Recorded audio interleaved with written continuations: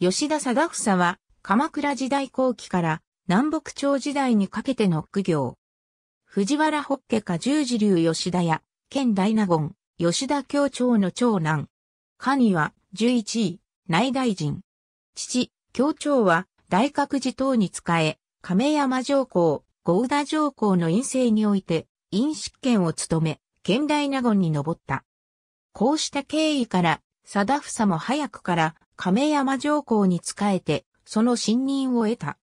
昭安3年に、五二条天皇の即位で皇位が大覚寺等に戻ると、陰表情集及び転送に任ぜられて徴用され、徳治元年には、五宇田上皇の因子として、鎌倉へ派遣されている。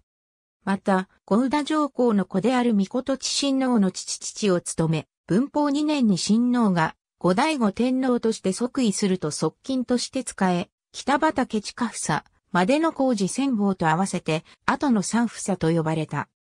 その信任は、五代後天皇の子である御事両親王の父父を引き続き務めたほか、元王2年には、五宇田法王、続いて、元皇2年には、五代後天皇が貞房の邸宅に行幸していることからも伺える。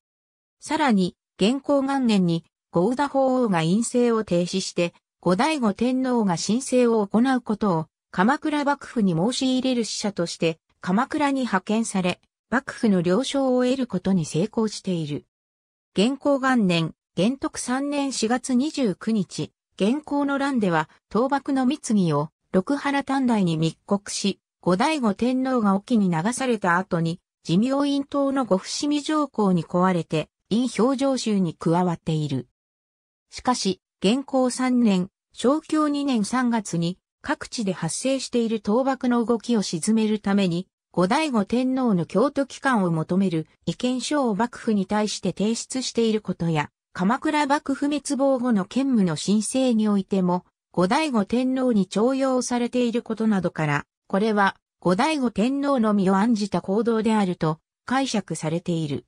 兼務政権においては貞房は内大臣や民部教に任ぜられて恩賞方や雑素決断書の頭人を任されるなど、要職を歴任した。だが、延元元年、建武3年に、建武政権は足利尊氏によって倒され、後醍醐天皇は同年暮れに吉野に逃れる。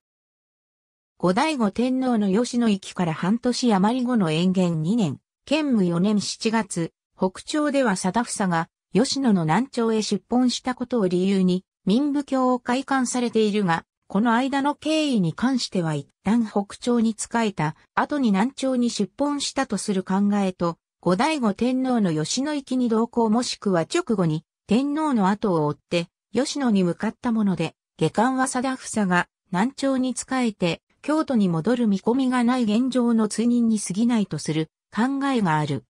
同年9月に後醍醐天皇が吉野安宮で開いた正月歌会に貞房が参加してその和歌が、新馬和歌集に再録されている。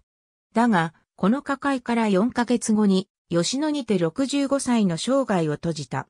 後醍醐天皇がその死を悼んだ歌が、新馬和歌集に再録されている。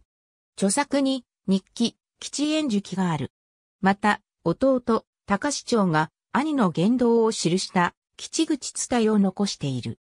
第五次未保院に所蔵されていた文書の一つに、後醍醐天皇に時期尚早な倒幕運動を諌める文書が残っており、吉口伝いとの対応から、吉田貞房の文なのではないかとする見解が通説だった。